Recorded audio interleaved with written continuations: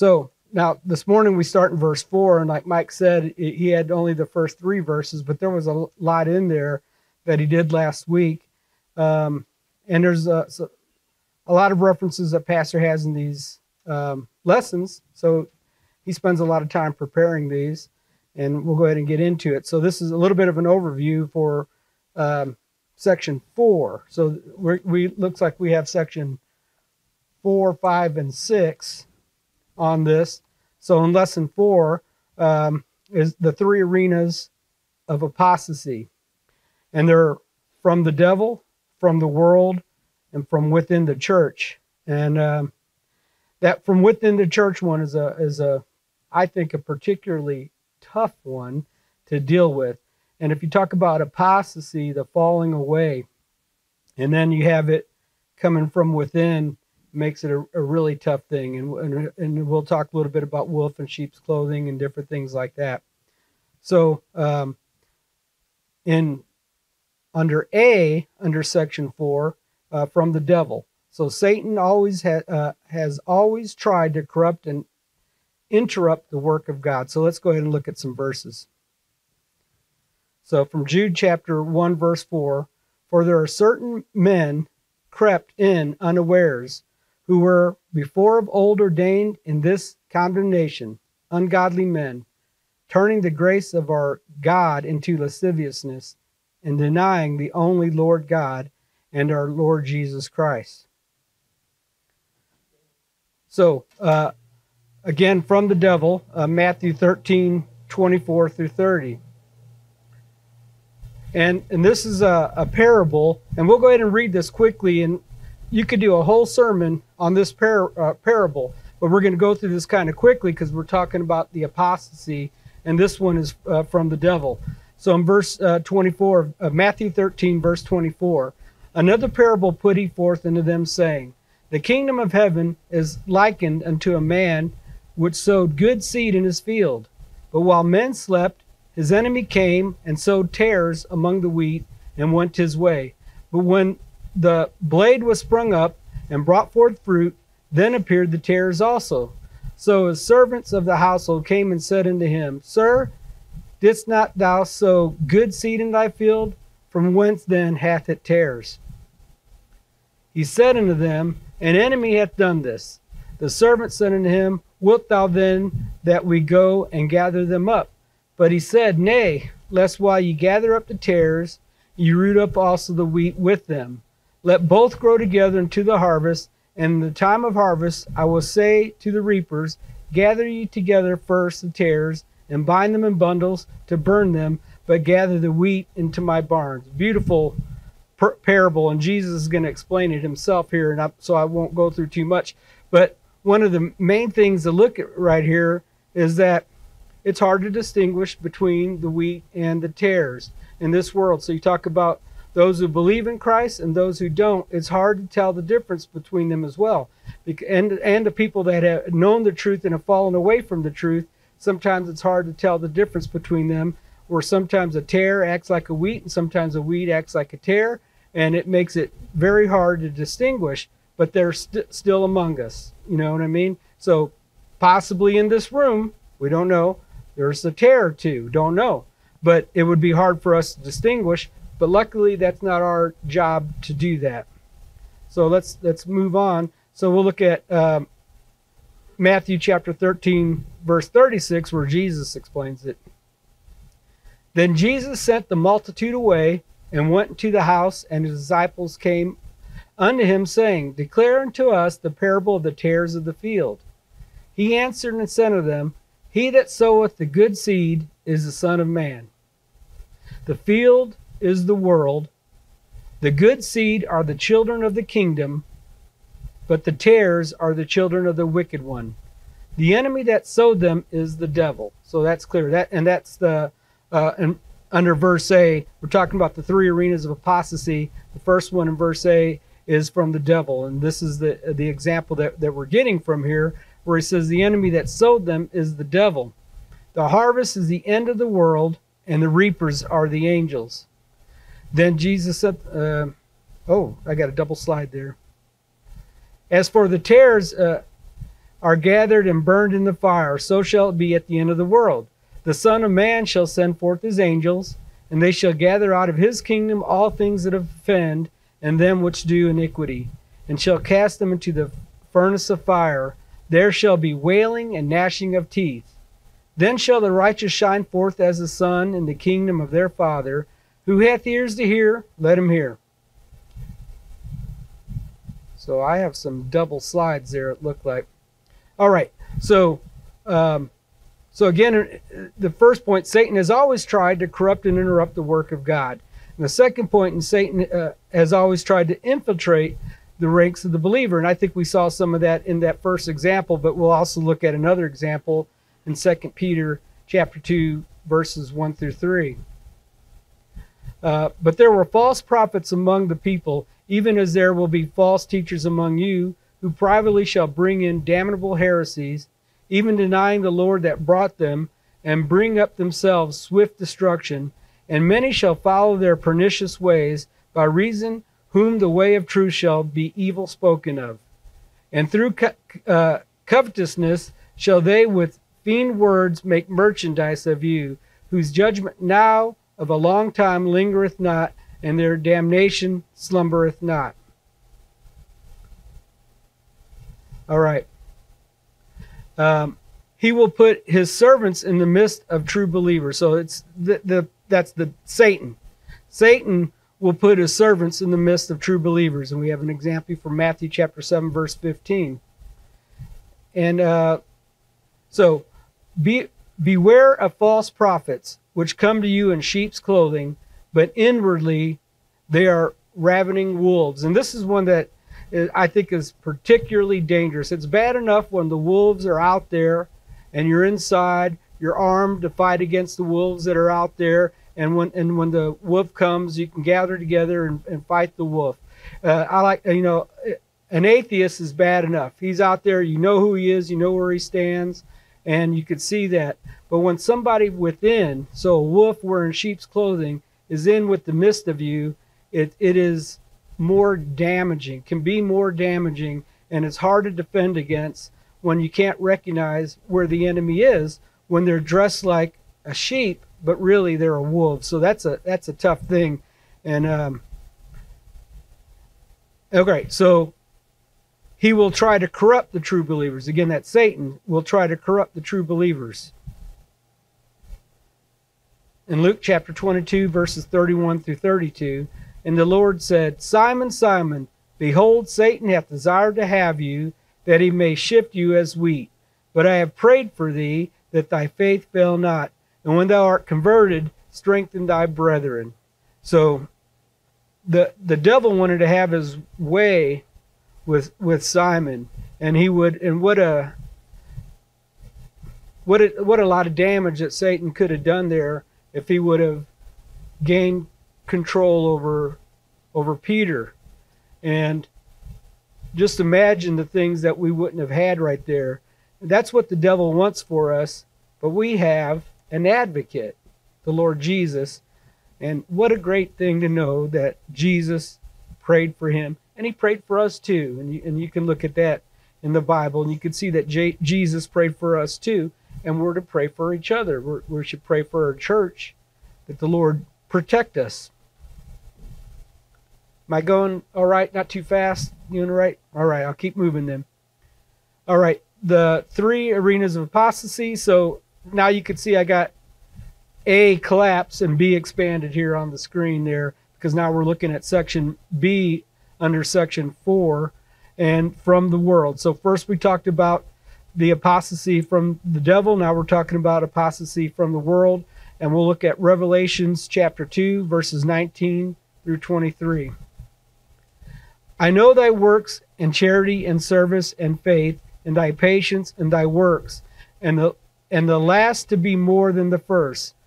Notwithstanding, I have a few things against thee, because thou sufferest that that woman Jezebel, which called herself a prophetess, to teach and to seduce my servants to commit fornication and to eat things sacrificed unto idols. And I gave her space to repent for, uh, of her fornication, and she repented not. God is a merciful God, but if you know if, if you never come to repentance, then, then there's a problem there. But you could see that uh, God didn't take it lightly about someone. It's bad enough when you don't believe. It's bad enough when you're contrary, but when you try to influence God's people and, and do that, I think God takes uh, an offense there, and um, He takes it very serious. So, behold, I will cast her into a bed, and them that commit adultery with her into great tribulation, except they repent of their deeds. And I will kill her children with death, and all the churches shall know that I am he which searcheth the reins and hearts, and I will give unto every one of you according to your works. All right, the world has uh, the world always wants the church to compromise, and you know that the thing about compromising is sometimes it looks so little, just compromise a little bit, but does that satisfy the world? It never does. And then they want you to compromise again and compromise again, and next thing you know, you're not what you used to be. So, but that, that's how things work. It, it, you know, the, when you're trying to change someone's mind, it's just constantly working on compromise. So, the, when we have the true word of truth, we don't have to do any compromise, and we shouldn't do any compromise because it is the truth. The world has always want the church to compromise. So let's look at Galatians chapter 3 verses 1 through 3. O foolish Galatians, who hath, be, who hath bewitched you, that ye should not obey the truth, before whose eyes Jesus Christ had been evidently set forth, crucified among you. This only would I learn of you. Received ye the Spirit by the works of the law, or by the hearing of faith? Are ye so foolish? Having begun in the Spirit, are you now made perfect by the flesh? All right, so giving up the truth is a sin. And and it's a to me it's a sad thing when you have the truth and then then you give it up. And uh, so we'll look at Titus chapter 2 verses 11 through 14. For the grace of God that bringeth salvation hath appeared to all men, teaching us that denying ungodliness and worldly lusts, we should live soberly, righteously, and godly in this present world, looking for that blessed hope and the glorious appearing of the great God and our Savior Jesus Christ, who gave himself for us that he might redeem us from all iniquity and purify in himself a peculiar people, zealous of good works. And like Brother Mike pointed out uh, last week, and, and how pastors pointed out before, um, the best way to know if something's a counterfeit is to know what the real thing looks like. And we have the real thing in our Lord Jesus Christ. We have the real thing in God's Word. So if you have something that's contrary to God's Word, you know that that's uh, false. And, and you don't have to, and you shouldn't add to the Word of God. And uh, so that was uh, giving up the truth as a sin. Uh, letter B, taking in a lie is always a, a sin. So sec, 2 Timothy chapter 3 verses 5 through 9 having a form of godliness but denying the power thereof from such turn away. For of this sort are they which creep into houses and lead captive silly women laden with sins led away with diverse lusts ever learning and never able to come to the knowledge of truth. Now now as Jannes and Jambres withstood Moses so do these also resist the truth of men of corrupt minds, reprobate concerning the faith. But they shall proceed no further, for their folly shall be manifest unto all men, as uh, theirs also was. Now I'm moving kind of quickly because we still have a, a whole lot to cover, and I'd, I'd, like to kind of go over a little more detail in each one of these. But um, we got the verses there. You have the study sheets too, and, and you can go back and, and look at those. But we're just touching on the examples here. So the world has nothing that we should want, and uh, makes a lot of sense. What, eh, but have you ever found yourself a little bit jealous of what the world has? Sometimes I think we can find ourselves doing that. Eh, eh, but when we reason with what we have in Christ, that should take that away. There is nothing that we have uh, that we're lacking through Christ, but the world has nothing that we should want. 2 Corinthians chapter 6 verse 14 through 18. But ye are not unequally yoked together with unbelievers. For what fellowship hath righteousness with unrighteousness? And what communion hath light with darkness? And what concord hath Christ with Belial? Or what part hath he that believeth with an infidel? And what agreement hath the temple of God with idols? For ye are the temple of the living God, and God has said, I will dwell in them and walk in them, and I will be their God, and they shall be my people. Isn't that beautiful right there? Wherefore come out from among them, and be separate, saith the Lord, and touch not the unclean thing, and I will receive you, and I will be a father unto you, and ye shall be my sons and daughters, saith the Lord Almighty. So when you think about that, that man, heaven, the God of the universe is my heavenly Father. And all these things that He wants for us, what do we have to be jealous of the world for? So now um, section B is now collapsed, and we have uh, section C expanded. So we're going to talk about from within the church, and we'll look at Acts chapter 20, verses 28 through 30 first. Take heed, therefore, unto yourselves and to all the flock over which the Holy Ghost hath made you overseers to feed the church of God, which he hath purchased with his own blood. For I know this, that after my departing shall grievous wolves enter in among you, not sparing the flock. Also, uh, of your own selves shall men arise, speaking perverse things to draw away the disciples after them. So, the Apostle Paul knew what was coming, and there were some people that were from within the church that were giving him a lot of anguish and they were doing a lot of damage and might have caused the apostles Paul visit there to run short. And, and he was uh, uh, leaving there and he was warning them about ravenous wolves. Wolves. So, and and you know, in reality, the wolf is the enemy of the sheep. The wolf wants to eat and devour uh, the sheep, and as a sheep on our own, we don't have much defense. We have to we have to be up by the shepherd. In our case, it's the good shepherd that we have. So, fr- from within the church. So these are again the arenas of apostasy, and we're talking about apostasy. So from within the church, they will do it for money, and we'll look at First Timothy chapter three, verse three. Not given to wine, nor striker, not greedy of filthy lucre, but patient, not a brawler, not covetousness. That's uh, we're as as a believer in Christ, as a follower of Christ. That's not the life that we're supposed to live. We're we're drunken, where we're a brawler, and we're not supposed to be after filthy lucre, but we're supposed to be patient, not a brawler, not covetous. They will do it for, for freedom to live in sin. And, and, and this one, I think, is, is a big one. And, it, and it's almost, um, it's a weird thing to say that the freedom to live in sin. Man, that, that who would want to do that anyway? But because with the sin, there's the lust of the flesh, the lust of the eyes, and the pride of life. And, and that lure is out there. And when you're here in church, talking about God, reading about God, learning about God, listening to the preaching, fellowshipping with other fellow Christians in there, in a sense, it kind of takes away from your freedom to live in sin. So if if the it's a sinful life that one is wanting to live in, then that that's another uh, area for apostasy to grow.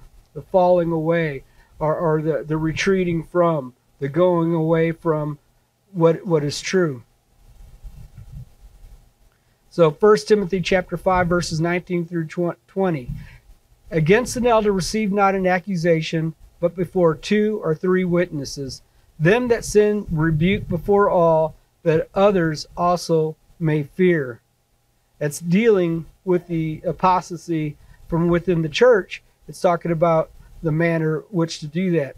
So it's not talking about the people without the church. It's talking about the people from within the church. So, um, from within the church again, they will do it for the ability to yield power over the church. Um, that that is something we have to be aware of too. I, I mentioned um, for all that is in the world, the lust of the eyes, the lust of the flesh, and the pride of life. That pride of life is a tough one, and I don't know if you all think things like me, but sometimes you got to watch in your pride, even about being humble. It, it that sound weird. Like for example, I'm the humblest person I know. Well, we wouldn't. That would be kind of funny thing to say, because you wouldn't be having real humility there. But sometimes in the church, um, we can actually have pride with how good we are or how um, how much we serve or and different things like that.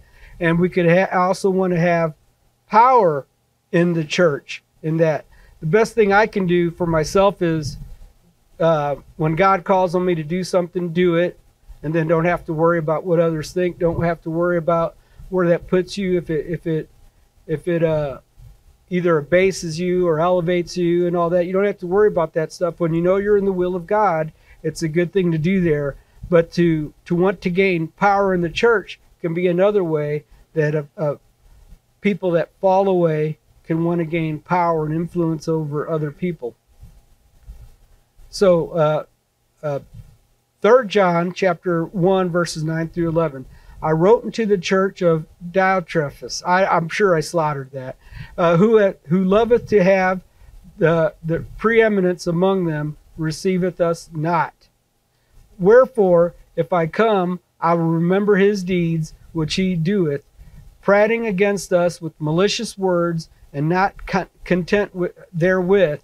Neither doth he himself receive the brethren, and forbiddeth them that would, and casteth them out of the church. Beloved, follow not that which is evil, but that which is good. He that doeth good is of God, but he that doeth evil has seen God. So that in that example there, they wanted to have preeminence even among the the apostles, and and and uh, they wouldn't receive them, and they wouldn't receive others, and and he warns of that. So uh, again, speaking of the apostasy from within the church, the truth is never changed, nor should should it ever be diluted, because that would be changing it also. Hebrews chapter 13, verse 9. Be not carried about with diverse and strange doctrines, for it is a good thing that the heart be established with grace, not with meats, which have not profited them that have been occupied therein. All right, so now now we're going to the the next section, section five, and we're looking at the three regions of the Lord's judgment, and we'll look at verse uh, five through sixteen. Now, so um, let's see, do I have that on here? Well, I'm going to look at the. Let me see here. I'm going to look at verse 5, uh, and this is in Jude now. So I put, uh, in this slide, I have Jude chapter 1, verse 5, and I also have 1 Corinthians uh, chapter 1, verse 10 on there, because that's the 1 Corinthians chapter 1, verse 10 is the reference that's being pointed out. But in, in uh, Jude chapter 1, verse 5, I will therefore put you in remembrance, though you once knew this, how that the Lord, having saved the people out of the land of Egypt, afterward destroyed them that believed not. And there's a um, a big story there about people that rose up against Moses and Aaron and uh, thought that they took too much upon, among themselves, and they got a bunch of the princes of Israel together, and and they were rebelling against Moses and Aaron, and uh, God opened up the earth and swallowed them and brought down fire and got others. And then the next day, the people were murmuring against Moses and Aaron that they killed God's people, and God caused the plague and killed uh, 14,700 more people. There was a lot of judgment of God that was done at that part, and, and this is the reference that they're talking about in both of these verses. Ver, uh, 1 Corinthians chapter 1, verse 10, Neither murmur ye, as some of them also murmured and were destroyed of the destroyer. That that's God did that uh, out of judgment. And murmuring, don't you hate murmuring? You know, so it's like when someone talks kind of, you know, out loud where you can kind of hear it, but not they're not fully talking to you and you just hear it a little bit. They want you to kind of know what they're saying, but not full, and they're murmuring against you. Kids do it. A lot of people do it when they're uh, under the authority of someone else. Like children might do it to their parents. A person at work might do it to their boss, or they kind of murmur to see how far they can get away with something, but they don't fully uh, stand up like that. Well, um, Korah, I believe it was, and, and some others who who did stand up to Moses and basically were rebelling, and God took care of that. And then the children of Israel murmured against Moses uh, and Aaron. So, so we, we talked about the Lord judges his people, and we saw an example of that. And the Lord judges his creation. Uh, and this is in verse 6. In, in Jude chapter 1, verse 6 And the angels which kept not their first estate, but left their own habitation, he hath reserved in, in everlasting chains under darkness unto the judgment of the great day. And these, by the way, are going to move a lot faster now. I noticed that where section four had a lot more verses, and this one just is more discussion about the verse in Jude. So the, the Lord judges his critics. So eh, back to Jude, verse 7 even as Sodom and Gomorrah and the cities about them, in like manner, giving themselves over to fornication and going after strange flesh, are set forth for an example, suffering the vengeance of eternal fire. So the, the Lord judges his critics, and now we're going to talk about uh, the rebellion in verse 8 through 10 in Jude. Likewise, also these filthy dreamers defile the flesh, despise dominion, and speak evil dignities. Yet Michael the archangel angel, when contending with the devil, he, disputed about the body of Moses, durst not bring him durst not bring against him a railing accusation, but said, The Lord rebuke thee. But these speak evil of those things which they know not, but what they know naturally are brute beasts, and those things they corrupt themselves. And we also have, uh, you know, again, the Lord judges his critics, the covetous. Woe unto them, for they have gone in the way of Cain, and ran greedily after the heir of Balaam for reward, and perished in the gainsaying of Core. These are spots in your feast of charity when they feast with you, feeding themselves without fear. Clouds they are without water, carried about of winds, trees whose fruit withered without fruit, twice dead, and plucked upon the roots. That, I've got to pause here just to say, you think about. There's also a proverb that talks about uh, boasting, about being like a puffed up like a cloud without water and all that. It's like it could look like a big, look like something spectacular, but there's really nothing there. So if you think about these things here, clouds that are without water, they, they're really not good for anything. Don't really have any any power there. Carried about of winds, trees trees whose fruit withered. Well, that's what what good is a fruit tree whose whose fruit withered, or without fruit, twice dead, plucked up by the roots. Raging waves of the sea, foaming out their own shame, wandering stars to whom is reserved the blackness of darkness forever. And then uh, we're looking at, again, the Lord judges his critics, the wicked. And we'll look at verses 14 through 16. And Enoch also, the seventh from Adam, prophesied of these, saying, Behold, the Lord cometh with ten thousand of his saints to execute judgment upon all, and to con- convince all that are ungodly among them of all their ungodly deeds which they have ungodly committed, and of all their hard speeches which ungodly sinners have spoken against him.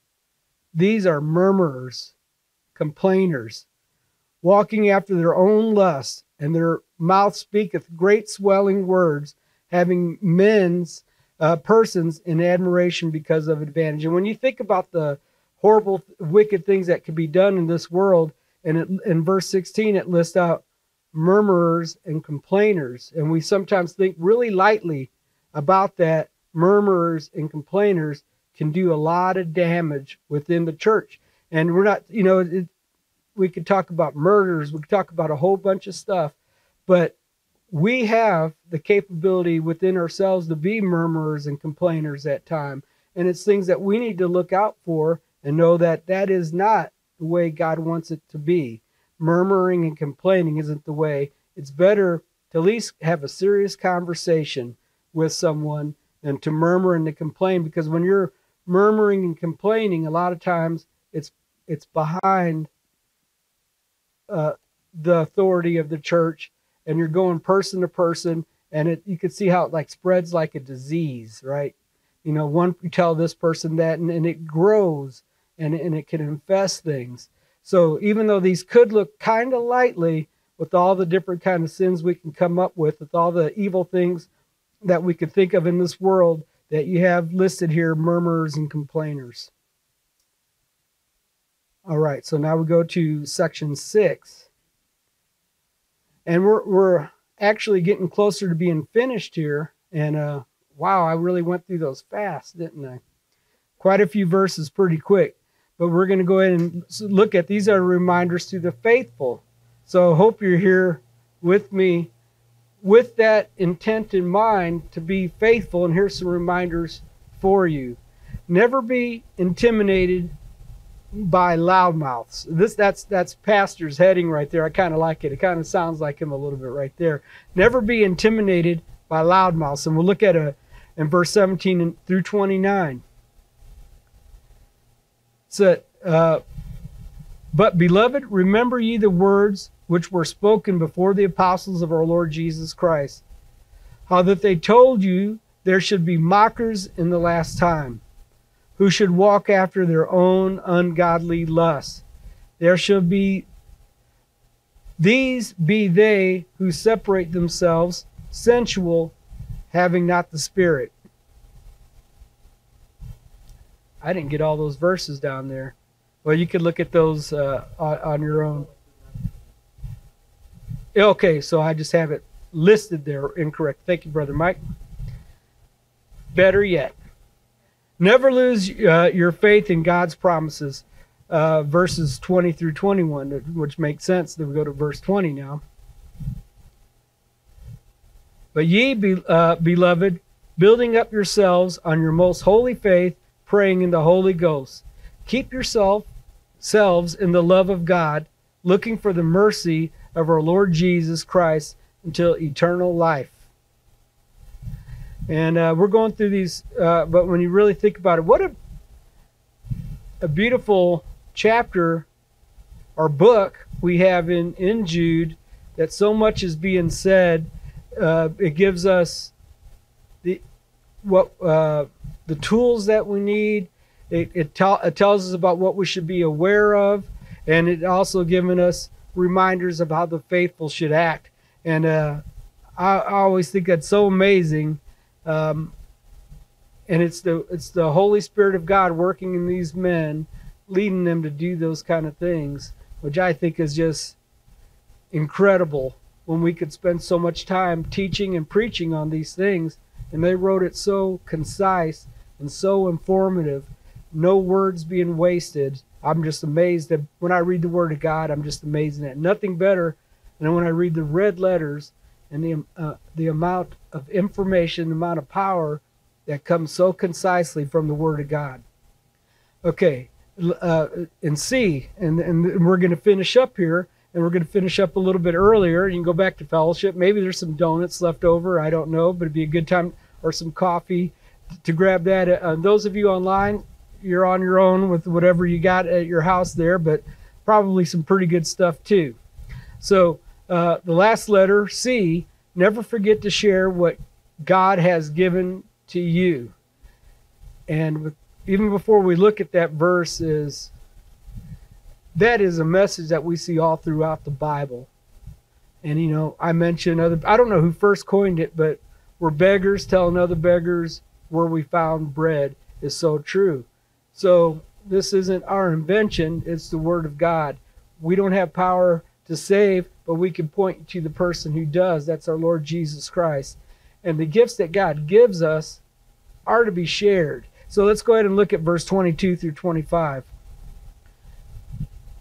And and of some have compassion, making a difference, and others save with fear, pulling them out of the fire, hating even the garment spotted by the flesh. Now unto him that is able to keep you from falling, and uh, to present you faultless before the presence of his glory with exceeding joy.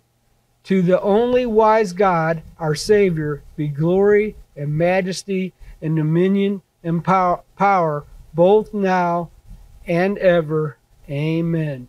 And we're going to stop there. But uh, the, the note that was there is He that winneth souls is wise. And we talk about uh, winning souls, we're just pointing them to Jesus, and then everyone has the choice to make that.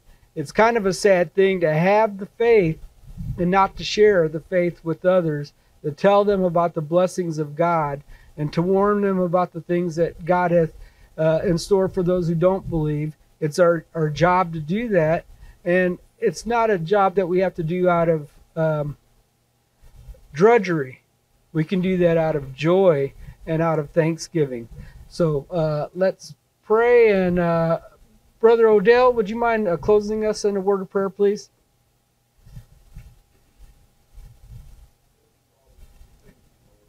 This lesson that was presented to us today, Lord. And uh, Lord, we just ask, Lord, that you would just be with and every one us on our prayer list, too, Lord. And uh, Lord, that you would just be with them, Lord. And uh, and give them some strength, Lord, the ones that's in need, Lord. And Lord, I do pray, Lord, for this, for this church, Lord, that it would prosper, Lord, and, uh, and we can see souls saved, Lord. And, uh, and Lord, we just ask you to be with Brother Bob, Lord, and as he taught us that lesson, Lord, and uh, just uh, give him strength, Lord. Just keep doing what he's doing, Lord. And uh, Lord, we just love you and thank you for everything that you have done for us, Lord. And we ask you, Lord, in your name. Amen. Amen. All right. Thank you very much.